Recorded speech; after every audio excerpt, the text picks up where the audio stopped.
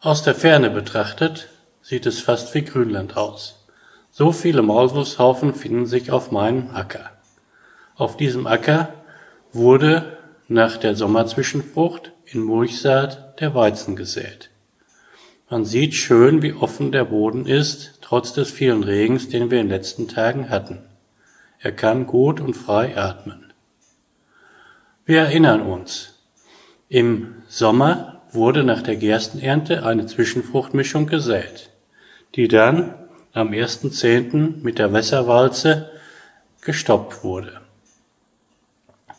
Das Material ist 15 Tage auf dem Acker abgetrocknet und wurde anschließend am 15.10. mit der Kurzscheibenegge flach eingearbeitet. Dann erfolgte am 17.10. die Aussaat in dieses Saatbett hinein. Zur Aussaat kamen 250 Körner Winterweizen der Sorte Gentleman. Und nun sehen wir, wie der Acker jetzt aussieht.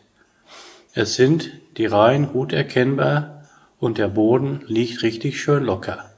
Ich bin gespannt, wie sich dieses zur Ernte präsentieren wird.